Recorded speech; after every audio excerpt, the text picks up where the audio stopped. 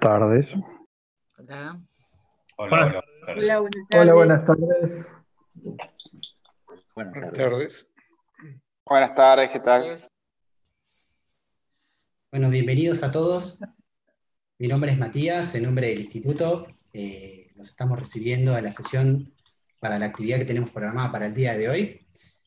Eh, básicamente contarles que estaremos eh, desactivando la posibilidad de que puedan abrir micrófonos en el transcurso de la charla para que Jesús eh, pueda, digamos, presentar la temática sin interrupciones. Esto está siendo transmitido por YouTube. Eh, la gente, aprovechamos para saludar a, a los usuarios que nos están viendo directamente por YouTube. Los invitamos a todos que a través del chat de la herramienta de Zoom o del chat de, de WhatsApp eh, puedan eh, escribirnos eh, los nombres, eh, los lugares donde están trabajando, localidad, si están en casa, que sea, digamos, eh, un comentario con, buena energía, están trabajando también, esperamos que sea así en sus oficinas. Y mm, sin demasiada introducción, le quiero ceder la palabra a nuestra presidenta actual, a Geraldine Yachelo, quien está presente en la sala acompañando al resto de las personas que van a estar moderando la actividad. Geraldine. Hola, buenas tardes a todos. En nombre de toda la comisión directiva es un gusto para mí poder presenciar y presentar esta actividad en el marco de los 60 años de nuestro instituto. Probablemente ustedes ya participaron el día de nuestro aniversario y como les anticipamos, de acá a fin de año vamos a seguir desarrollando desayunos, webinars, todo tipo de temáticas de interés para nuestra querida profesión. Eh, en esta oportunidad quiero agradecerles a- al Comité de Universidades del Instituto de Auditores, eh, que ha arrancado con muchísimo éxito, y a la red de auditores internos de universidades, que han traído la posibilidad al instituto de generar este, este encuentro que no dudo que va a ser enriquecedor eh, para, para el desarrollo de nuestra profesión. Agradecerle la gentileza a Jesús Rodríguez, presidente de la Auditoría General de la Nación, eh, quien hoy va a compartir con nosotros sus experiencias y bueno, y nos invita a la reflexión y al diálogo. Ojalá, como hablábamos recién, la próxima podamos hacerla todos juntos. Deseo que todos se encuentren bien y les agradezco mucho la participación. También le voy a agradecer personalmente a Oscar Rebolledo, que es el director de este comité, es uno de los directores de este comité, quien, quien lleva adelante este desafío día a día y quien va a, a moderar esta charla. Así que le doy la palabra a Oscar, te agradezco el armado de esta jornada y quedo a disposición de todos ustedes y espero que, disfruten de las actividades de nuestro instituto. Buenas tardes para todos. Muchas gracias, Geraldine. Eh, buenas tardes, bienvenidos a todos. Eh, y an- antes de comenzar y de presentar a, nuestro expositor de hoy, eh, quiero darle el espacio a, los- la gente de la red de auditores internos de universidades, que fueron un poco los que propusieron esta actividad. Eh, así que, por favor, eh, Ed- Eduardo Ast, eh, auditor titular de la Universidad de Tierra del Fuego y actual integrante de la Comisión Técnica de la red, eh, te cedo la palabra. Bueno, muchísimas gracias. Yo voy a ser breve para no quitar espacio a la exposición. Quiero, en nombre de la red de auditores internos de universidades nacionales, agradecer especialmente, en primer lugar, al disertante, al señor presidente de la Auditoría General de la Nación, licenciado Jesús Rodríguez, por su generosidad y disposición para brindarnos este espacio de, reflexión, a los rectores, autoridades, auditores y miembros de WISE, de universidades, invitados especiales, el público en general, y al Instituto de Auditores Internos de la Argentina por brindarnos el, apoyo, el soporte, en- en- representados por la persona de su presidente, la contadora Geraldine Yachelo, y el coordinador del Comité de Universidades, Oscar Rebolledo, eh, por hacer posible esta actividad. Eh, brevemente, comentarles que esto surgió a partir de- del contacto del contador Aníbal Coluber, a quien respeto, y hago, eh, respeto mucho y hago extensivo el agradecimiento. Es doblemente importante, no solo por la temática, que nos genera gran expectativa, sino también por la vinculación y articulación institucional y, y este camino de colaboración recíproca que estamos convencidos que nos ayuda a todos a enriquecernos profesionalmente y a mejorar nuestra labor en el control público, que es nuestra tarea principal. Así que sin más, muchísimas gracias y a disposición. Bueno, eh, muchas gracias Eduardo. Y, bueno, ya vamos a, presentar entonces, a dar paso a nuestro expositor, eh, Jesús Rodríguez. Él es un fuerte defensor de las, de las instituciones. A mí me gusta presentar, creo que es una persona destacada, tiene muchos laureles este, por todos los, cargos que le ha tocado ocupar, pero yo quisiera resaltar más a la persona, justamente en su calidad de defensor de las instituciones. Él, además de todos estos pergaminos que tiene por lo que le ha los roles que le ha tocado tocar, eh, ha presentado varios papers, varios trabajos de investigación en organismos internacionales como CEPAL.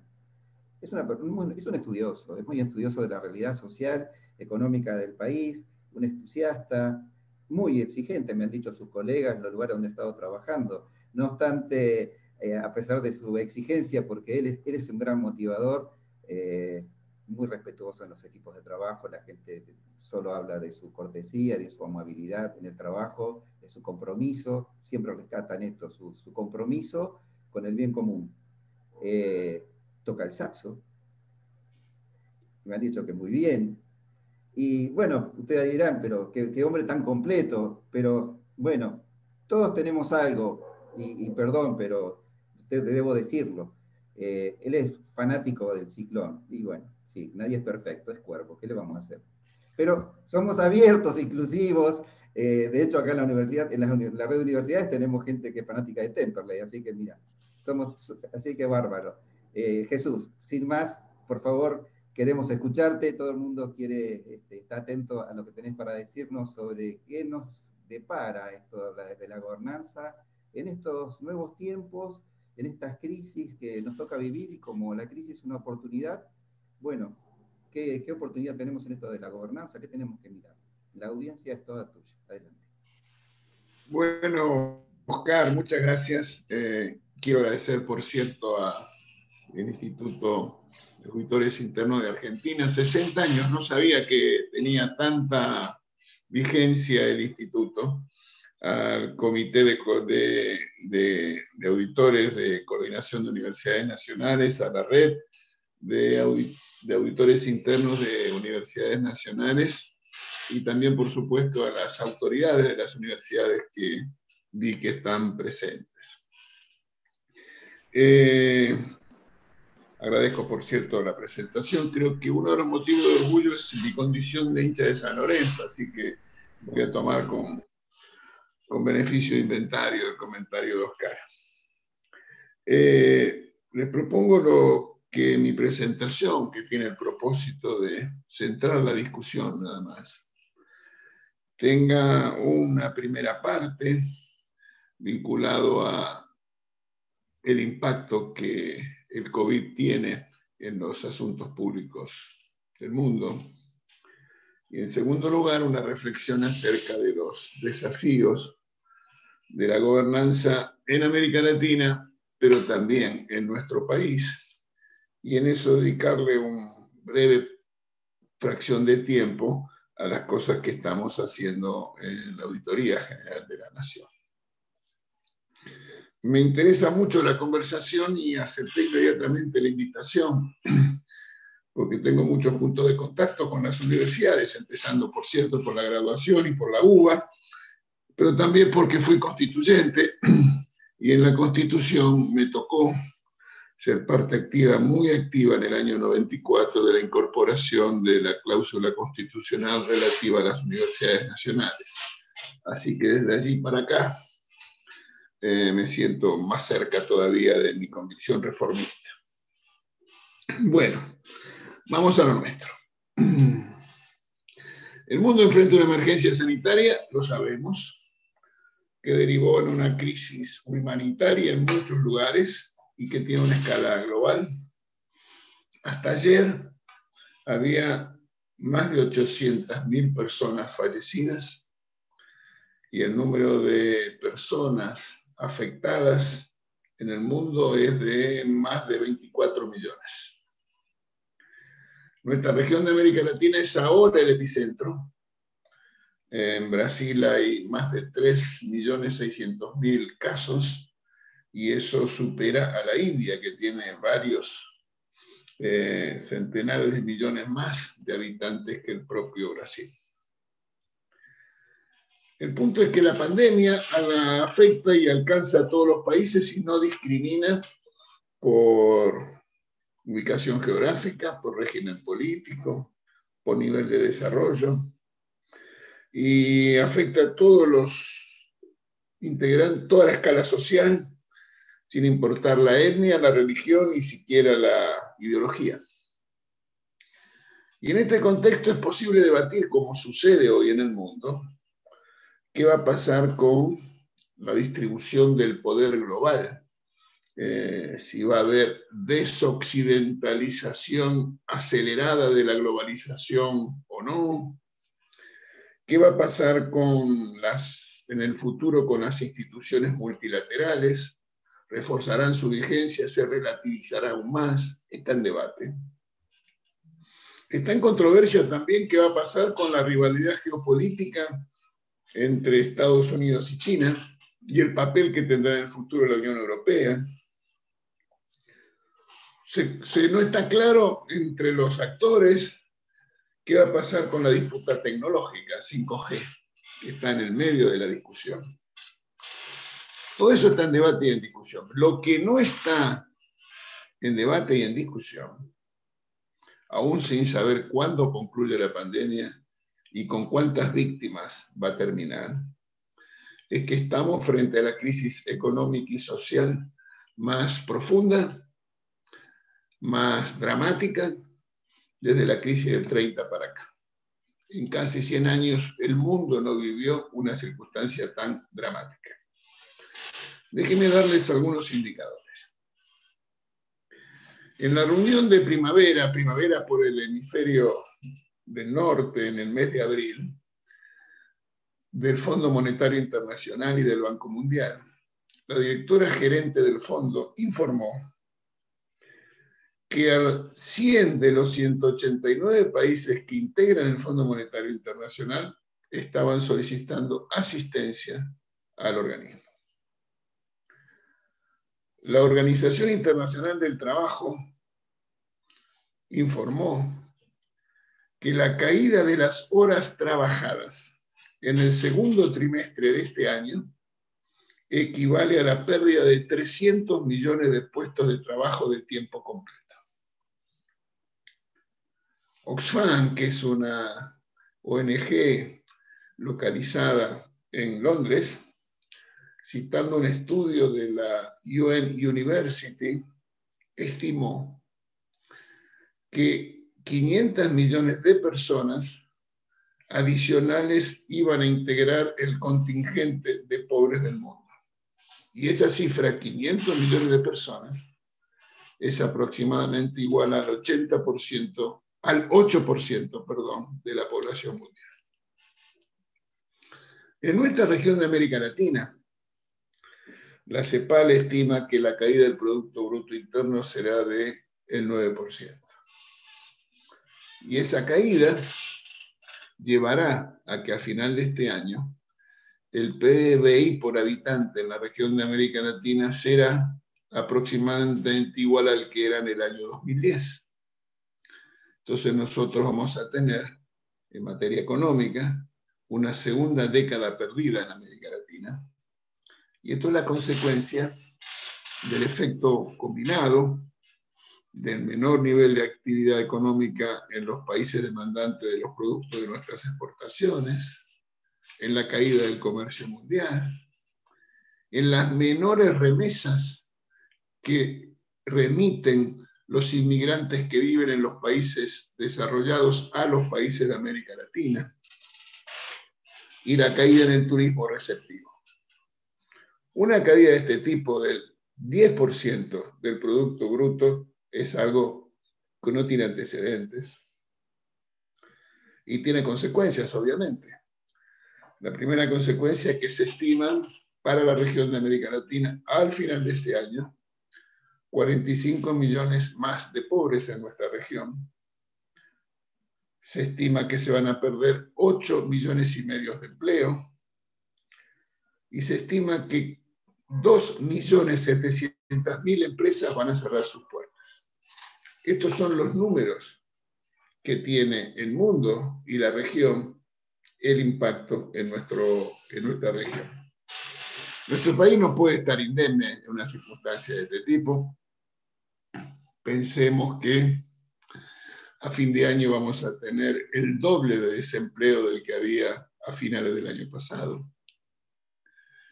Pensemos que la caída del Producto Bruto Interno se estima seguro de dos dígitos. Algunos hablan del 11, del 12, otros del 13%. La situación fiscal está muy complicada. A finales del año pasado había prácticamente equilibrio y a finales de este año se estima que podrá estar en el 7, el 8% del Producto Bruto. Entonces, los desafíos de la, de la gobernanza en América Latina y en nuestro país para las entidades fiscalizadoras superiores, en este caso la, la AGN, en la pospandemia, estarán centrados en que el futuro de nuestro país y de la región depende crucialmente de dos dimensiones. La primera, la evolución de la economía mundial, y ya vimos que no hay que esperar mucho de allá, al menos para el año próximo.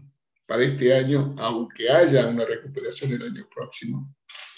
¿Y por qué digo esto? Porque aun cuando el año que viene crezca el nivel de actividad económica, igual va a estar por debajo de lo que había sido en el año 19 al final del año 21.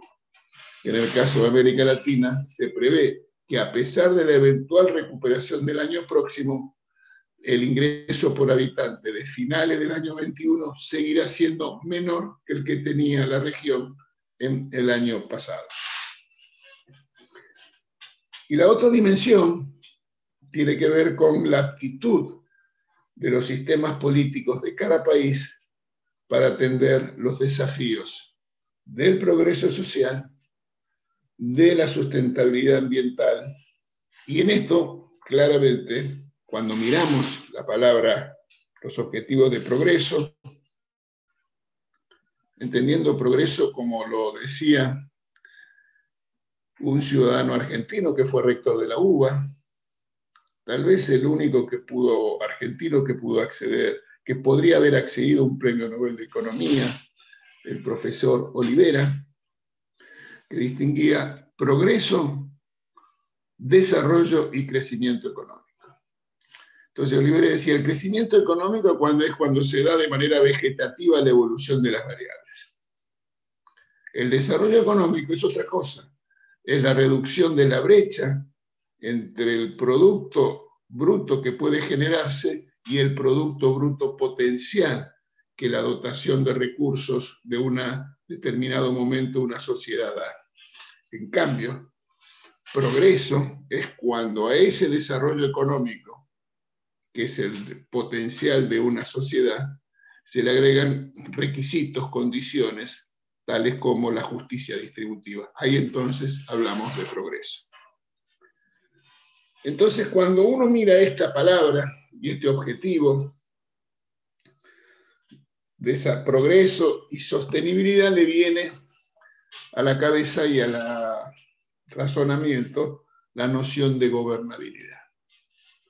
Bueno, la gobernabilidad no es lo que era cuando apareció este término en la discusión política. Eso fue principio de los 70. Era en la época de la Guerra Fría, la Unión Soviética y Occidente. Entonces una institución que se llamaba la Comisión Trilateral, que reunía empresarios y académicos de Europa, de América del Norte y del Japón, discutía cómo Occidente se relacionaba con el mundo comunista de la Unión Soviética. Y entonces nos surgió la noción de gobernabilidad.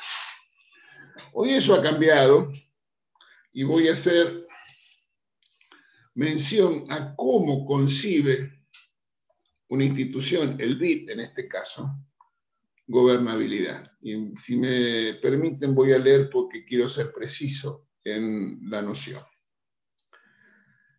Dice el BID, la gobernabilidad hace referencia a la capacidad de los sistemas democráticos para aprobar, poner en práctica y mantener las decisiones necesarias para resolver los problemas sociales, resultado de procedimientos democráticos institucionalizados que consideran plenamente los puntos de vista e intereses de los actores sociales y políticos relevantes.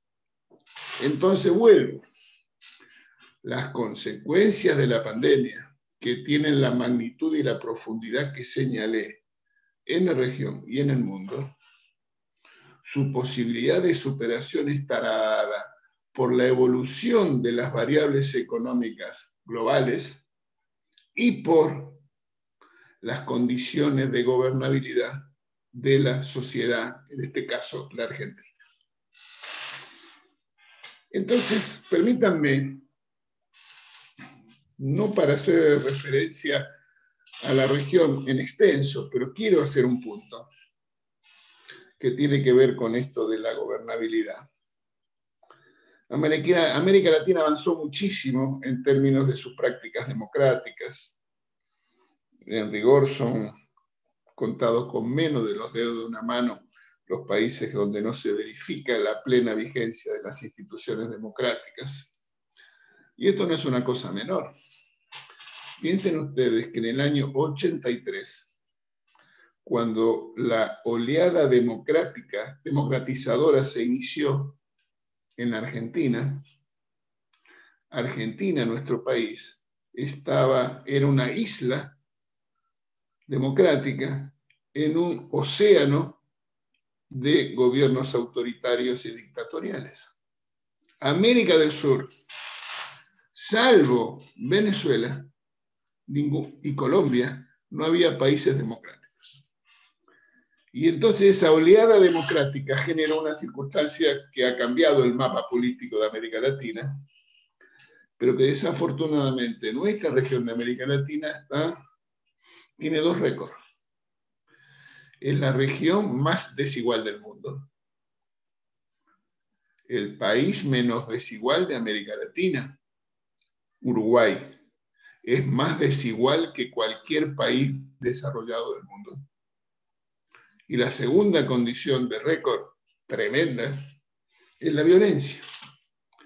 Nuestra región de América Latina es la más violenta del mundo. Para que tengamos una idea, América Latina tiene el 9% de la población mundial, pero expresa el 25% de los homicidios que se dan en el mundo. 42 de las 50 ciudades más violentas del mundo están en América Latina.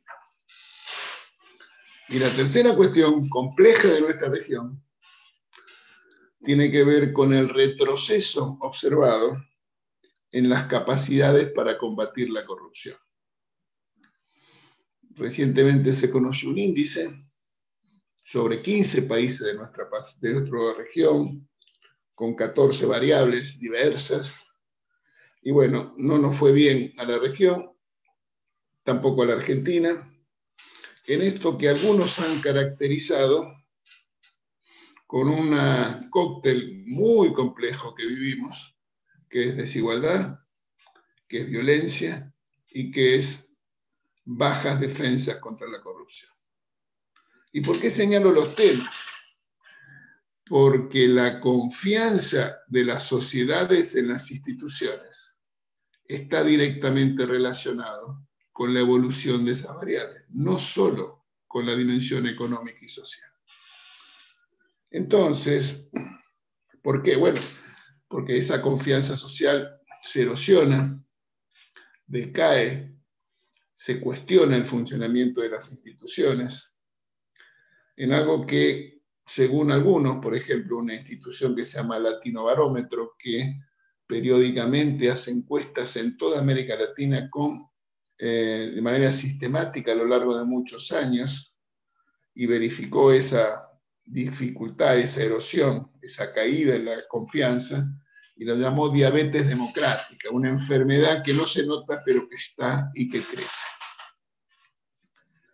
O eh, Human Rights Watch, no, perdón, Freedom House, otra institución a nivel global, caracterizó esta etapa del mundo y de la región como de recesión democrática. Entonces, para ir avanzando un poco en el tema, me gustaría hacer una afirmación de la dimensión institucional y su relevancia para abordar esta cuestión y por eso traje la noción de gobernabilidad y la precisé con la definición del BID. Y luego hacer unos comentarios acerca de la Auditoría General de la Nación. ¿Y por qué están vinculados? Bueno, porque para nosotros existe una asociación positiva, inmediata, entre la fortaleza de las instituciones y los resultados económicos y sociales. Hay una relación de causalidad que se demuestra en estudios cuantitativos por lo cual la fortaleza de las instituciones es más determinante, más relevante como variable para explicar el crecimiento económico que la propia dotación de recursos naturales de una sociedad. En países de, régimen institucional presidencialista, como es en Argentina y en América Latina, donde existe, y a diferencia de los países en los cuales el régimen político es parlamentario. El gobierno depende de la constitución de una mayoría en el Congreso. En Argentina y en América Latina y en Estados Unidos, con sistemas presidencialistas, lo que rige es la división de poderes y el equilibrio entre los poderes. Y ese equilibrio y esa división de poderes requiere de controles en nuestro sistema el control del Congreso sobre los actos del Poder Ejecutivo requiere de una asistencia técnica, la auditoría que es la sanción constitucional del año 94 de asistencia técnica al Congreso. Y esa relación entre los poderes y control recíproco necesita de lo que se llama la rendición de cuentas.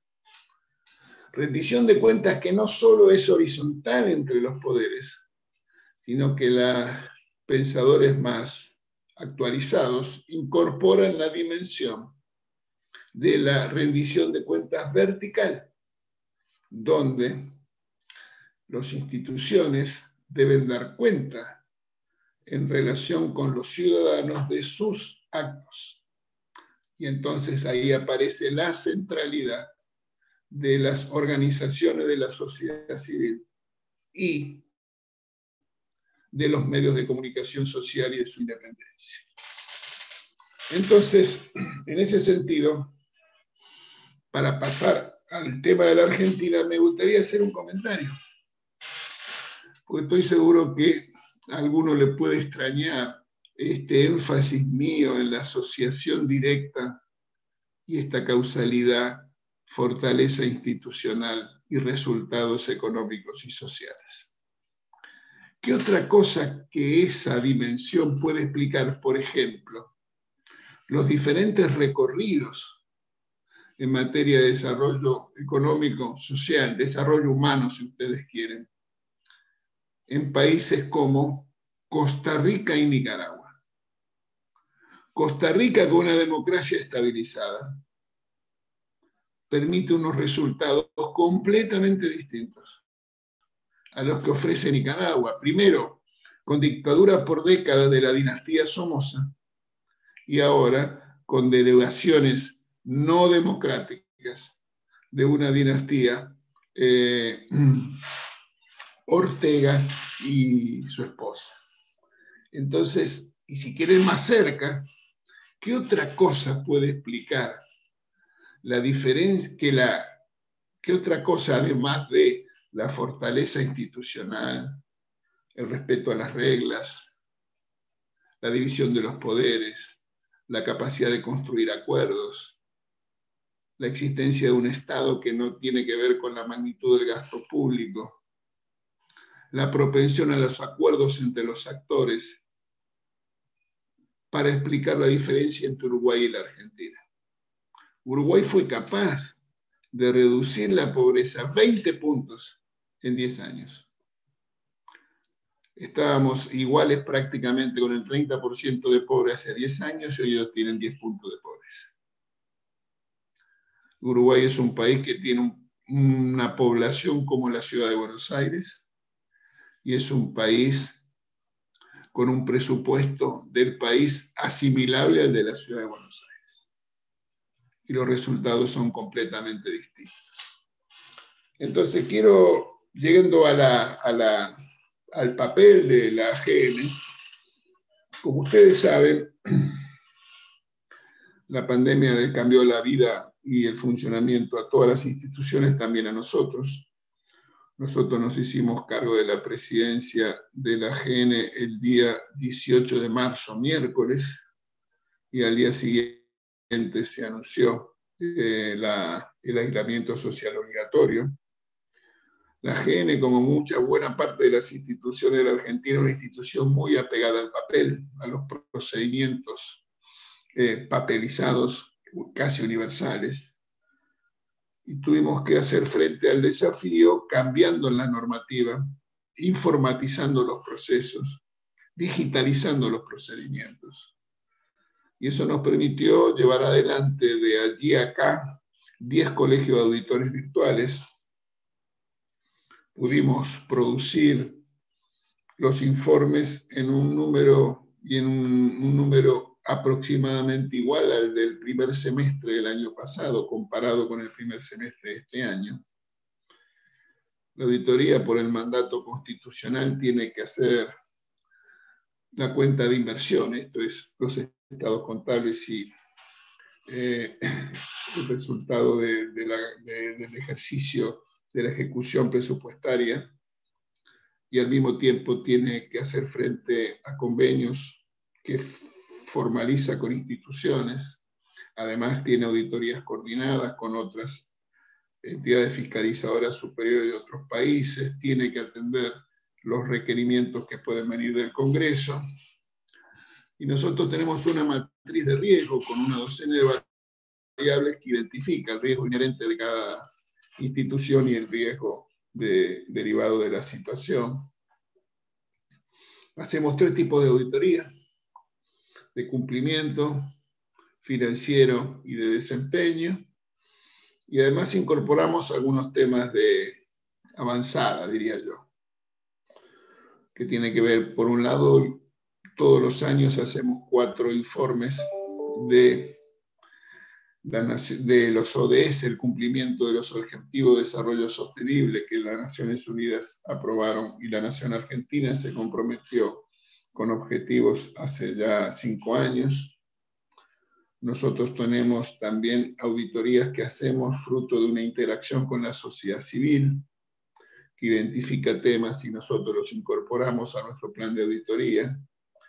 Y como les dije, hacemos auditorías coordinadas con otras entidades fiscalizadoras superiores de, de la región, eh, por ejemplo, estamos llevando adelante una, auditoría de tecnología informática en compra del sector público.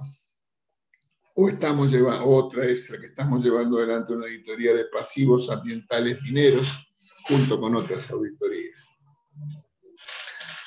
Eh, por cierto, y termino, el esfuerzo fue muy grande, los funcionarios y los trabajadores de la casa lo hicieron posible.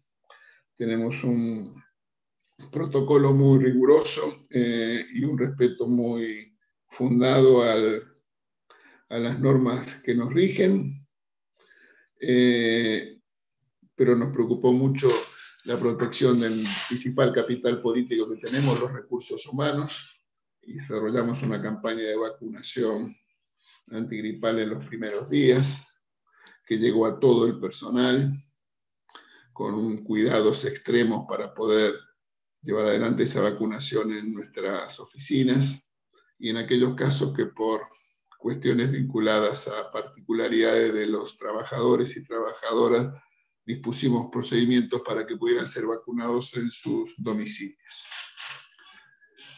Bueno, me gustaría si responder preguntas, se fue muy larga la presentación, pido disculpas, pero quería contextualizar el trabajo de la auditoría en el contexto de la necesidad de fortalecer instituciones donde la auditoría tiene un papel decisivo, por qué eso es relevante, tratar de justificarlo con argumentos y poner en contexto en el marco de la pandemia el trabajo que hacemos y espero poder haber contribuido a, a clarificar nuestra misión en esta conversación. Les agradezco y estoy a disposición.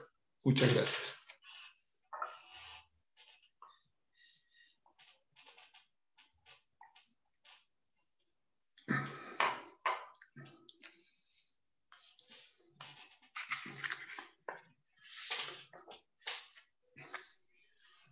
Hola. Hola. Hola. Sí. Buenas Sí. tardes, señor. Eh, ¿Se puede directamente las preguntas o escrita? La verdad que no soy el organizador, no le puedo responder. Bueno, Perdón, Fernando. Eh, Oscar Reboledo, que es el, el moderador, tenía silenciado el, el micrófono, ahora sigue Oscar. Lo abre nuevamente. Vamos a, a recibir las consultas directamente por el chat, así ah, vamos a listo. Gracias. y eh, nos da la posibilidad de poder participar todos. Ok, gracias. Ah, la palabra. Hola, sí, gracias Matías, tenía el teléfono, el, el micrófono muteado recién. Muchas gracias Jesús por, por tu exposición. Eh, bueno, quiero comentar que hemos superado los 130 participantes, eh, tanto nos están siguiendo por esta plataforma como también por la plataforma YouTube.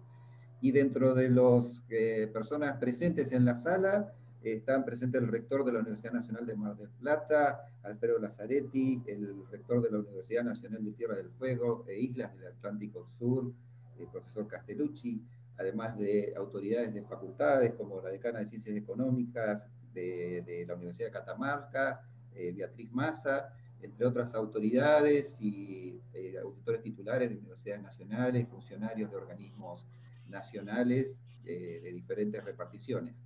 Eh, les pido que por favor vayan haciendo sus preguntas en el chat, así vamos eh, habilitando este espacio y Jesús nos va respondiendo este, sobre, sobre el particular.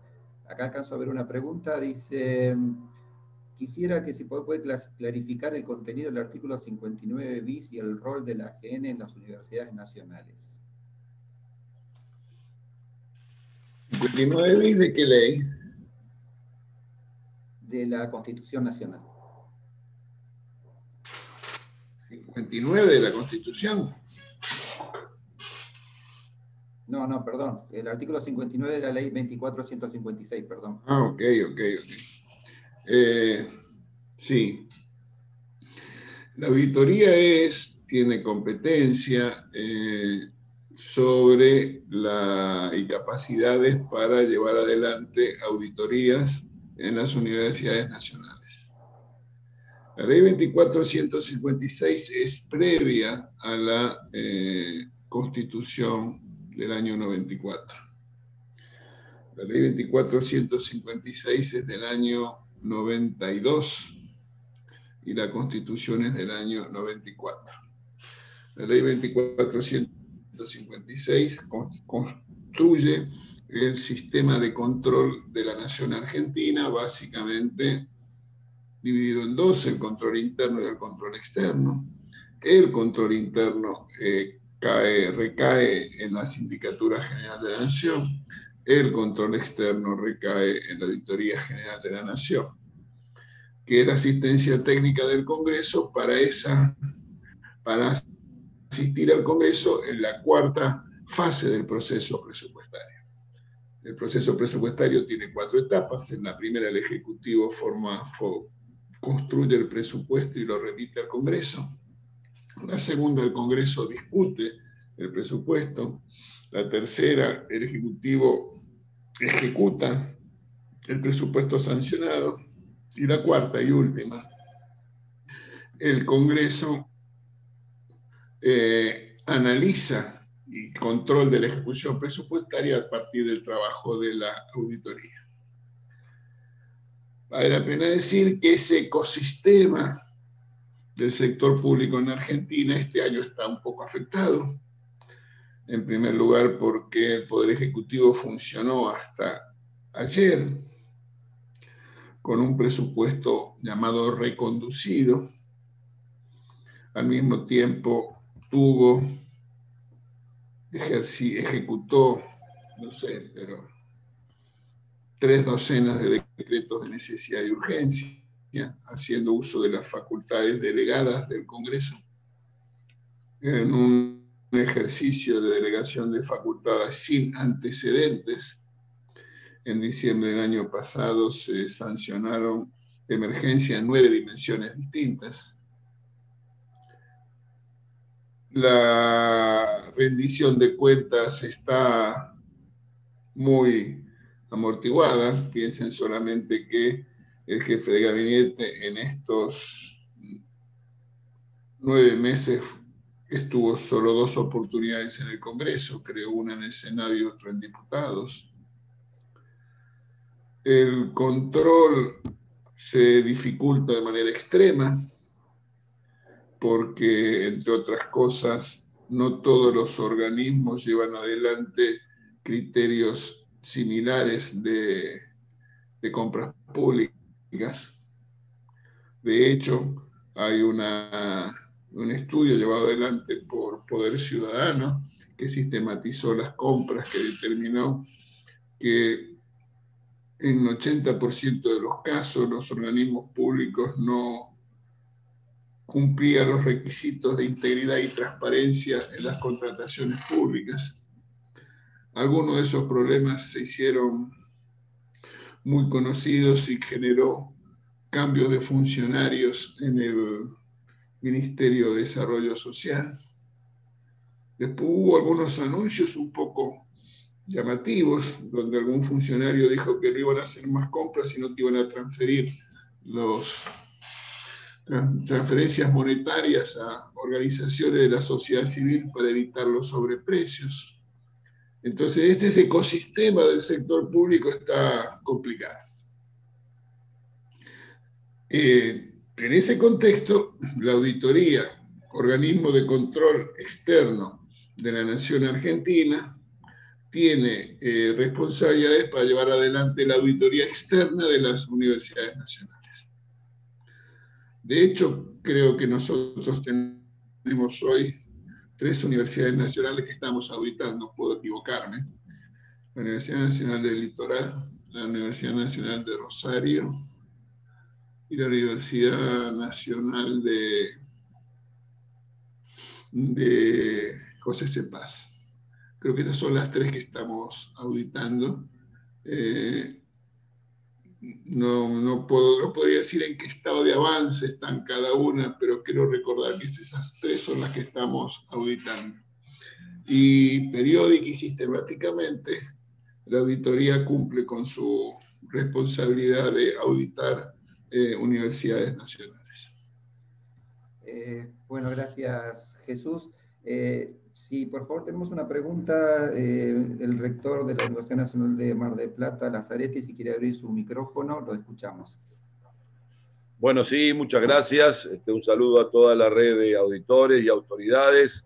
Este, la, era era una, una clarificación este, en el sentido de la pregunta que, que le acaban de hacer recién, este, en el sentido de que la ley de educación superior como, bien vos dijiste, de alguna manera es, posterior a la 2456, pero en los este, últimos, en el mes de noviembre del 2015, hubo una reforma, que fue la ley 27.204, si no recuerdo mal el número, que modificó el, texto de la ley de educación superior eh, y, clarificó un tema que, que había habido mucho debate, que era hasta qué punto las universidades nacionales estaban alcanzadas por la ley 2456, porque la inclusión de las universidades se, da vía decreto reglamentario, no aparece muy claro en el texto de la ley.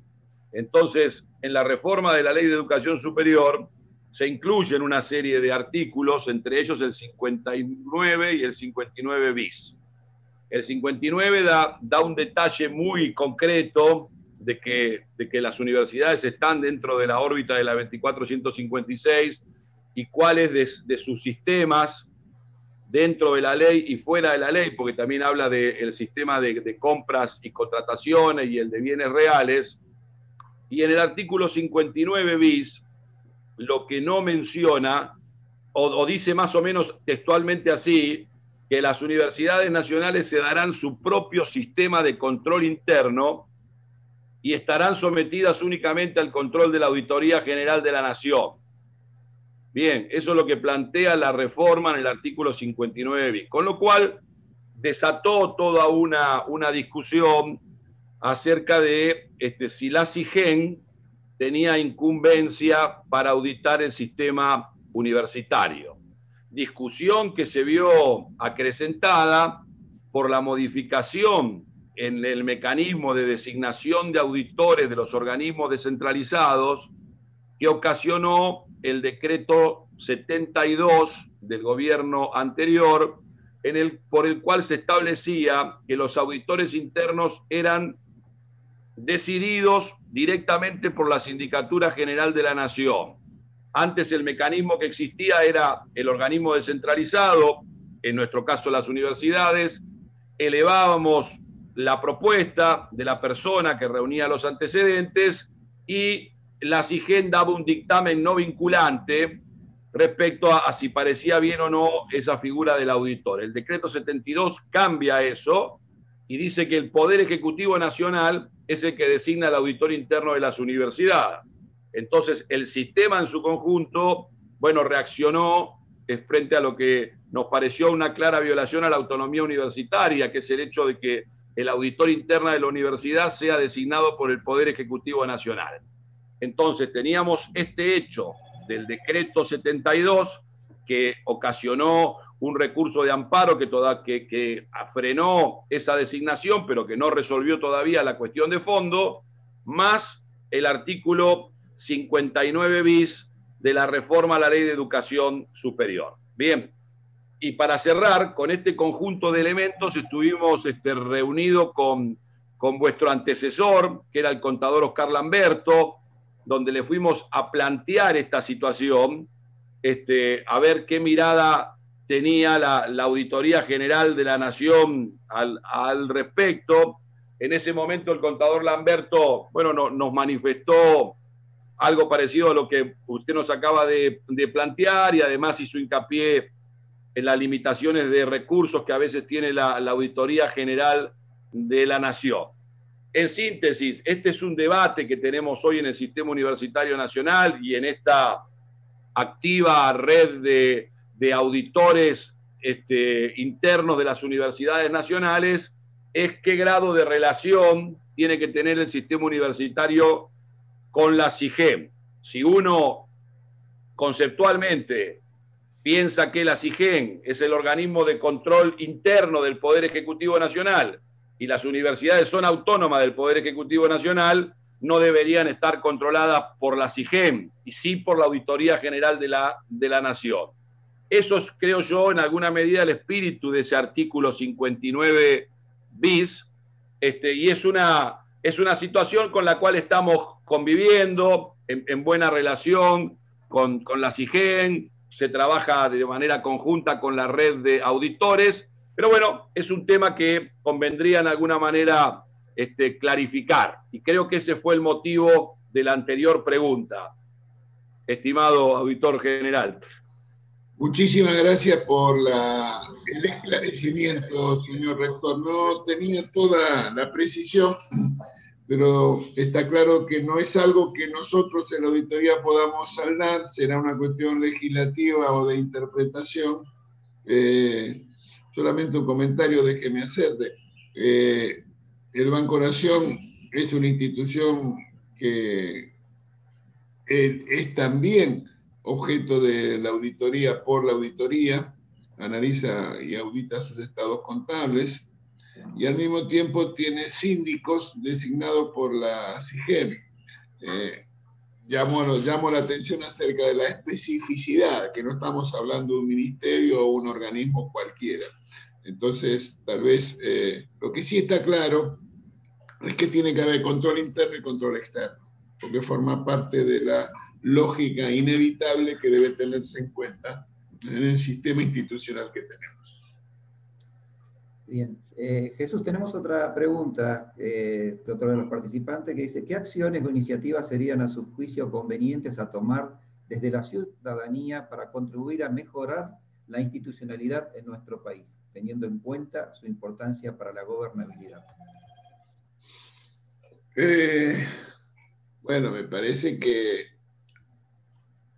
la necesidad de fortalecer eh, la independencia de los poderes forma parece que del principal de los la necesidad de eh,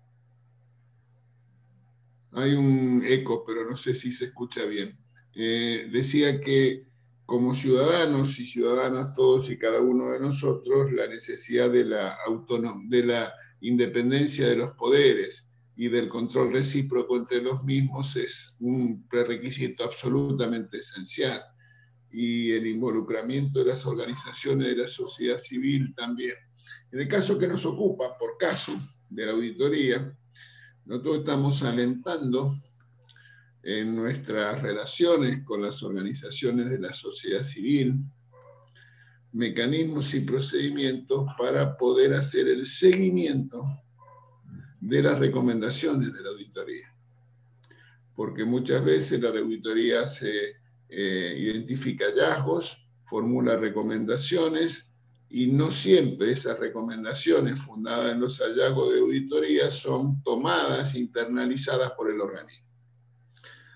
La auditoría no puede hacer mucho en ese sentido porque hasta ahí llega, pero probablemente una acción activa de organizaciones de la sociedad civil, que en general son, eh, tienen preocupaciones temáticas por algunas dimensiones, eh, no sé, una organización ambientalista va a estar muy preocupada porque, la, porque las recomendaciones de la auditoría para él, eh, la protección de los bosques nativos eh, y las recomendaciones sean aplicadas por eh, el Ministerio de Medio Ambiente, seguramente va a estar muy interesada en interrelacionarse con el, Ministerio de Medio Ambiente para que el Ministerio de Medio Ambiente y las provincias pongan en, práctica las recomendaciones de la auditoría. Entonces estamos tratando de avanzar en este tipo de iniciativas para que el último eslabón de la cadena de auditoría pueda ser eh, materializado. Bueno, muy, muy claro Jesús y para, tenemos otra consulta más, si tenemos unos minutitos de, tiempo. Esta viene de Santa Fe, de la provincia de Santa Fe, del Tribunal de Cuentas de Santa Fe.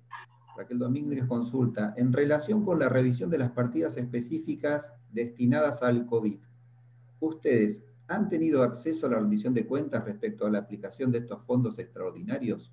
Nosotros en Santa Fe, desde el Comité de Crisis Provincial, hemos elevado a las autoridades el pedido de rendición y no hemos tenido respuesta hasta el momento. ¿Cree que podría establecerse algún tipo de colaboración entre la Auditoría General de la Nación y este tipo de comité de crisis a nivel provincial? Eh, bueno, eh, son dos preguntas. Eh, en relación a la primera, nosotros estamos trabajando e insistiendo en la necesidad de actualizar el plan de acción para poder atender cuestiones derivadas de, inmediatas de, de las consecuencias del COVID. Y en relación a la otra parte de la pregunta, la auditoría pudo hacer, como hizo eh, de manera reciente, más de una oportunidad, convenios, por ejemplo, con la provincia de Santa Fe, con lo que se llama una auditoría de corte es el resultado de un pedido que hizo el gobernador entrante de la provincia de Santa Fe, en aquel momento el senador Perotti, y se firmó un convenio entre la provincia de Santa Fe y la Auditoría General de la Nación para llevar adelante la auditoría de corte del cambio de administración. Eh, nosotros hicimos esa auditoría, fue realmente exitosa. ¿Por qué digo exitosa? Por una por un dato de la realidad. Alguna de las recomendaciones que hizo la auditoría fue tomada por el nuevo gobierno. Por ejemplo, la creación de una unidad dentro de la administración que, que llevara adelante la responsabilidad del tema de la deuda pública provincial, que no existía hasta ese momento. Y esa fue una recomendación de la auditoría que la nueva administración tomó y la puso en práctica. Entonces, puede haber convenios, sí los hubo en el pasado. La auditoría lleva adelante convenios con distintos organismos para hacer los estados contables o los estados financieros. Así que eh, puede haber convenios, pero no, no, es una, no es una cuestión, en términos de jurisdicciones subnacionales, no es algo de todos los días, es algo que eh, tiene una cuota de excepcionalidad grande. Bueno, muchas, muchas gracias Jesús. Eh, ya estamos casi sobre la hora, sobrepasando el tiempo estimado, pero quiero darle lugar a la gente que también nos está siguiendo por el canal de YouTube. Desde ahí también nos llega una consulta y nos preguntan o te preguntan cuál es su opinión sobre lo que decidió en reunión directiva que AGN no tiene atribuciones para auditar gastos en el marco del actual ejercicio, sino que solo es auditoría expuesta. Bueno, eh, sí, es ciertamente la auditoría, como dijimos antes, el control interno concomitante lo lleva adelante la CIGEN, la auditoría tiene responsabilidad del control externo y es ex post. Ahora, ex post no quiere decir el año siguiente. Ex de acuerdo a las normas de la auditoría existentes, vigentes, permiten que el periodo auditado llegue hasta 30 días antes del inicio de la en consecuencia, nosotros tenemos facultades y antecedentes para llevar adelante esas auditorías. Por ejemplo, hoy, 27 de agosto, si empieza la auditoría el primero de septiembre, todo acto y disposición que termina el 31 de julio, hasta ahí puede llevar hacia adelante la auditoría. Así que no, no, no es un argumento que nosotros compartamos y tampoco aceptemos. Bueno, la verdad, Jesús, que muy, muy agradecido, yo creo que toda la audiencia también, por tus palabras, ha sido muy claro, muy completo el panorama que nos ha dado a nivel internacional, latinoamericano y también a, nivel nacional. Eh, te agradecemos por tu tiempo, agradecemos tus palabras, agradecemos a todo el público que nos siguió atentamente desde las dos plataformas, tanto desde YouTube como desde Zoom. Realmente mucha gente que no pudo ingresar eh, a la plataforma este, de Zoom, pero sí se fueron sumando a la otra plataforma. Agradecemos a las autoridades de universidades nacionales, autoridades provinciales del gobierno de la Ciudad de Buenos Aires, que también nos están siguiendo por su, por su presencia. Eh, desde la red de auditores de universidades te vamos a comprometer porque seguramente eh, vamos a, estamos evaluando de hacer algún congreso que no pudimos hacerlo porque teníamos previsto anualmente, hacemos este, una actividad presencial en diferentes universidades y este año el COVID nos jugó una mala pasada y vamos a ir a, Puerto Madryn y no pudimos, así que estamos evaluando la posibilidad de un encuentro virtual.